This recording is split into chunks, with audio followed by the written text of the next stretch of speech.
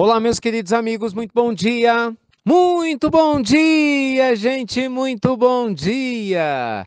Começando com carinho de sempre, mais uma pílula do nosso amado Evangelho. Claro que é o nosso desejo de luz e paz aí para o seu coração, para a sua vida pelo Evangelho, você já sabe, né? Esse nosso momento de reflexões profundas. E eu gravo com tanto carinho, fico tão feliz em ouvir os feedbacks de vocês, de ver vocês no Evangelho no Lar falando que escutaram a pílula, vocês não fazem ideia, sério, de como traz uma sensação gostosa, as mensagens que vocês enviam, né? Contando as histórias de como a pílula mudou a vida de vocês ou dos familiares de vocês. Obrigado a você que não desiste, viu? De mandar a pílula do Evangelho para seus amigos, mesmo que o povo reclame do meu bom dia, que acha que eu sorrio demais. Faz mal não. Todo mundo tem o seu momento de despertar. E vai chegar a hora que nós vamos gravar a pílula no tema certo e a pessoa vai ouvir no momento certo, se tiver que ser. Mas obrigado a você que não desiste, tá? Eu queria só que você soubesse do meu carinho e gratidão, tá bom? Gente, hoje eu queria conversar com vocês sobre um, uma situação que todos nós irremediavelmente enfrentamos aqui na Terra, né? que são aqueles momentos literalmente difíceis, desafiadores, que a gente tem a sensação de que tudo está dando errado. Já passou por isso? Sabe aquelas fases em que parece que tudo que você faz não funciona? Não é assim? O pessoal fala, gente, quando as coisas dão errado, parece que é ao mesmo tempo, né? De repente, sei lá, vou criar uma situação aqui. Você perde o emprego, ao mesmo tempo fica doente, de repente o namorado termina contigo. Sabe umas coisas assim? O filho fica doente, de repente você discute com o marido ou com a esposa, e aí descobre que você está com um problema na perna.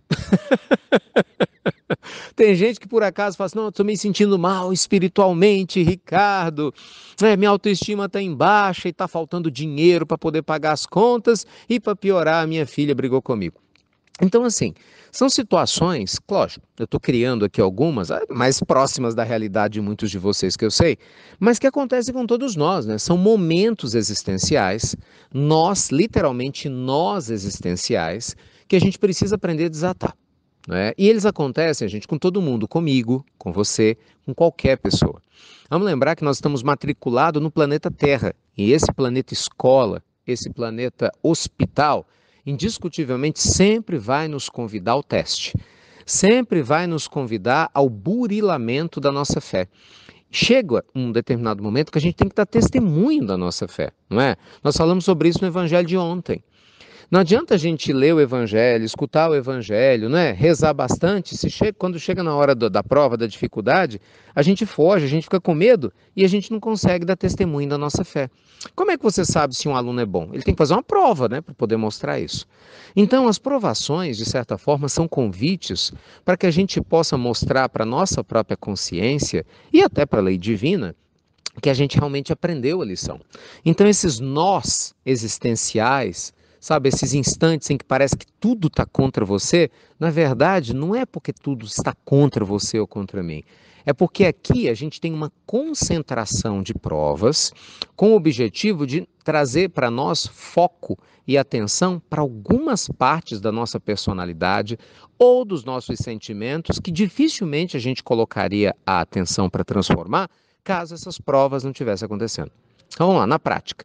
Tem gente que é muito desligada. Bora lá, hashtag papo reto. não é não? Tem gente que é muito desligada. E às vezes a gente é desligado. Então às vezes você passa por um probleminha e vai empurrando com a barriga. Não é? Ao invés de buscar o autoconhecimento, nada, larga para lá.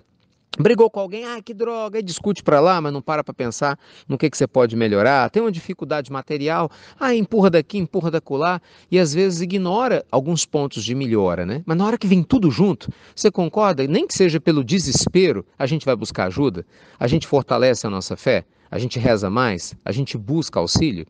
Então imagina só, como é que a gente iria crescer espiritualmente se não fosse esses momentos de concentração de desafios? Principalmente para alguns de nós que somos preguiçosos existenciais. Desculpa, mas isso é verdade, né? Muitos de nós, gente, só anda se for empurrado. Ou vai dizer que não, que não é com você.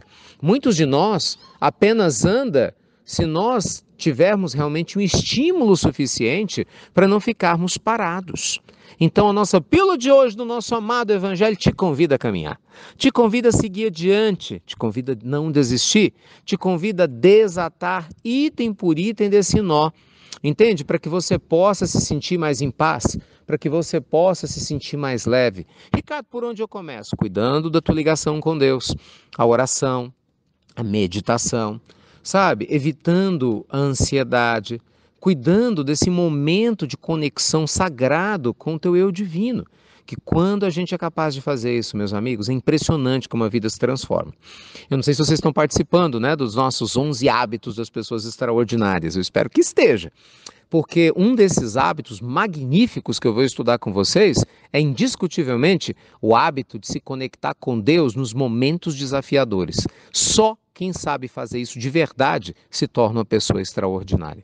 Porque nas horas difíceis, é que você conhece realmente o tamanho da fé de alguém.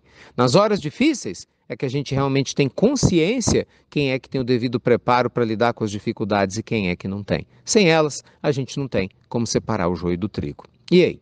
Você vai ver suas horas difíceis como uma oportunidade de amadurecer, de mostrar para Deus que você está crescendo? Ou vai continuar achando que o mundo todo está contra você e, consequentemente, você não pode melhorar em nada? Pensa com carinho, Tá bom? ah, meus amigos, um beijo grande no teu coração. Tô te esperando, hein? 10 e meia no Evangelho no Lar. E você já sabe, mais tarde, 22 horas, nossa quarta aula, nosso quarto hábito das pessoas extraordinárias. E olha, quem está participando, eu acho que está gostando. Vou falar mais nada não. Hashtag extraordinário. Quem está participando sabe o que eu quero dizer. Beijo grande no teu coração, luz e paz e até breve. Até muito, meus amigos. Muito breve.